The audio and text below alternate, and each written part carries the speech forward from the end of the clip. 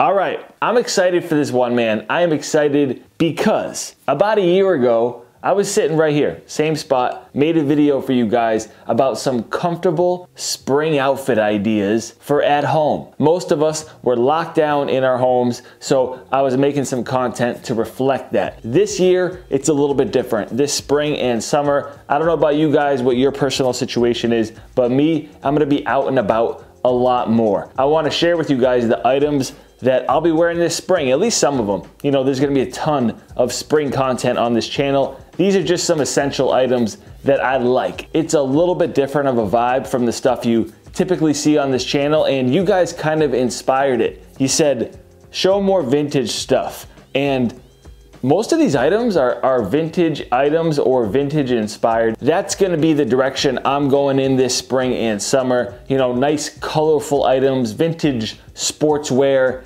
That's what I'm down with right now. This video reflects that, so let's dive into it. Okay, let's kick things off with a pair of sneakers. We've got the Nike Waffle Trainer 2 in Midnight Navy. So I showed these to you guys in my last video. I just got them in. I pretty much unboxed them in that video. I didn't throw them on feet. I wanna do that for you here now because after that video, I threw them on and I was like, damn, I really like this shoe. I'm already looking for other colorways. I'll be honest with you guys, I took a risk on these. I wasn't sure if I was gonna like them much. Low profile, low cut sneakers aren't typically something I go for. I like them, but I'm not chomping at the bit for the low profile shoe. Maybe it's just because this is a new model to me, but I had a really good feeling putting these on for the first time. You know, when you have like, I probably have 20 pairs of Jordan 1s, when you get that 21st pair and put them on, it looks cool, you like them, but it, you've been there before. When you get something different in a model that you typically don't wear, it changes things a little bit. So it's essential that you switch up your style just a tad. Try something new. This is a great affordable option. In my opinion, they fit perfectly, true to size. They're wide foot friendly and you can buy them right now. I'll link them for you down in the description. And if any of the other things in this video are available, they'll be down there as well. All right, so with the warmer weather rolling in, we gotta talk about some shorts. And again, this year, I'm still really big on Nike woven shorts. This is a new colorway that just dropped. It's purple, obviously. And this spring and summer, I'm gonna be huge on purple. Lavender, you'll see more purple in this video.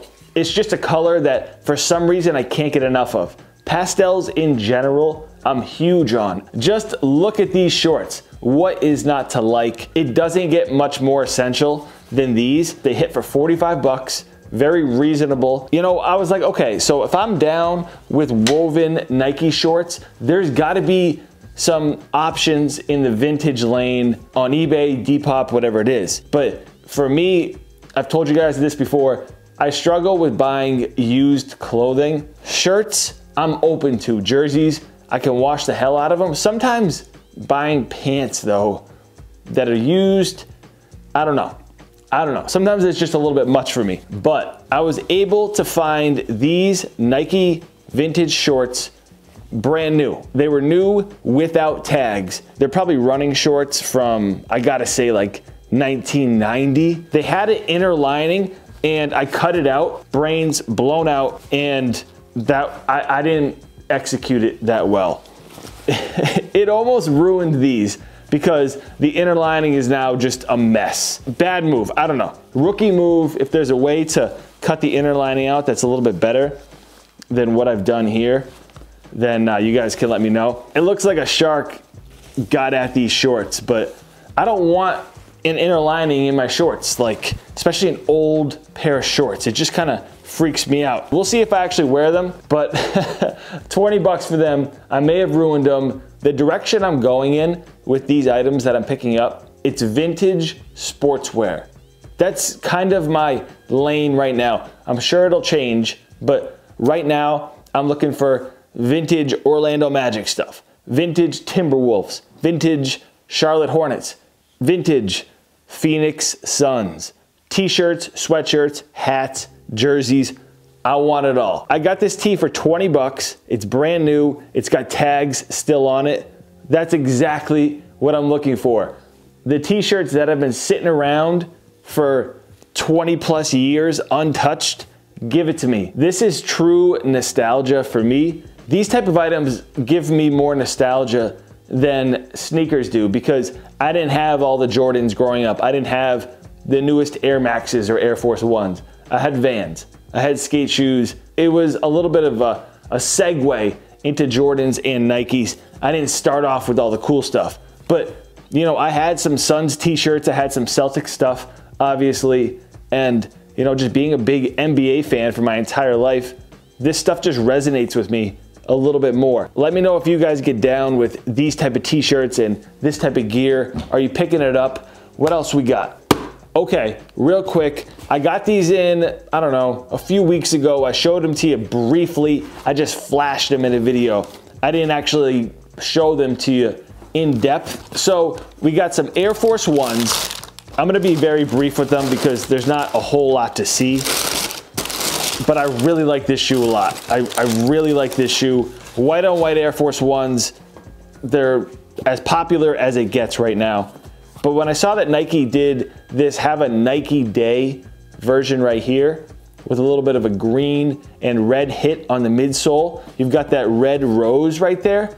I just liked them. $90 pair of Air Force Ones white on white. I haven't bought those in a long time because options like this exist that are just a little bit different. So if you need a fresh pair of white kicks for the spring and summer, this is a great option. I'll link them for you guys down in the description. Okay, real quick, I wanted to weigh in with you guys about a topic. Let me know where you stand about tote bags because for me, two years ago, I wasn't using tote bags. It was always backpack or duffel bag. That's it. But recently, I've been using tote bags a lot and they've just been so essential for me. You can pack a good amount of stuff in here. Like I have a full outfit. I've got a hoodie, sweats, and these shoes. This is how I was carrying this tote bag around earlier. I feel like for a while, there was almost a negative vibe around tote bags where it was only something girls used. Or it was like you had a man purse if you were rolling around with one of these. But recently, I feel like they've become a lot more acceptable. I find myself with these in the grocery store or if I'm shopping around so that I don't have to take a plastic bag from a vendor or a store. And that's kind of where I got started with these. And then I just kept one in my car. If I went to the beach, I would stuff whatever I wanted in the bag roll out to the sand. They're so easy and convenient, but I just wanted to, to check in with you guys. Like, do you get down with tote bags? And do you think that like a year or two ago, people looked at it like a man purse? Like anything else other than a backpack was not masculine. Like it was almost frowned upon where people didn't want to have these because they would get looked at like a chick. And that's unfortunate. I never viewed it like that. I just didn't think that this would be more convenient than a backpack, but recently it has been, and I've been using it a lot. So let me know what you guys think about tote bags. Let's get into the last item. This one is a suggestion from one of you. I read the comments. I listen to what you guys have to say. I read what you have to say.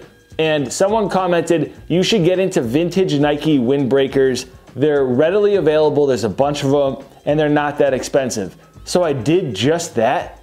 Man, Nike windbreakers, vintage Nike windbreakers, they're everywhere. There's some good ones, and sure as shit, they're not that expensive. So I did a little searching and I came up with this Nike windbreaker for 35 bucks. Honestly, thank you to whoever suggested this because I don't think I'm gonna buy a regular Nike windbreaker this year, a brand new one. Vintage is the way to go there's a bunch I can say about this. For one, the quality seems better. It's really lightweight. The design is cooler. The fit is money. Draw cords at the bottom, of course. What a gem. What a gem. It's a gray tag Nike item, full zip, no flaws. No flaws. There's a bunch I've been finding recently that I, I get beat out on. You know, eBay is a good place. I'll link some searches for you guys down in the description. But you can certainly get some good ones for under 50 bucks. And windbreakers are so essential this time of year for me. Springtime, peak windbreaker season. If it gets too cold, wear a hoodie on underneath it. Oh, it gets too hot. You take the hoodie off, you put it in your tote bag, and you just rock the windbreaker. It gets even hotter, you take off the windbreaker and the hoodie, put them in the tote bag, and you roll around in your t-shirt. You can wear shorts, like, like I love the spring. Just a great transitional season because I get a little fatigued in the summer, you know, like August, September, when I've just been wearing shorts and tees all the time.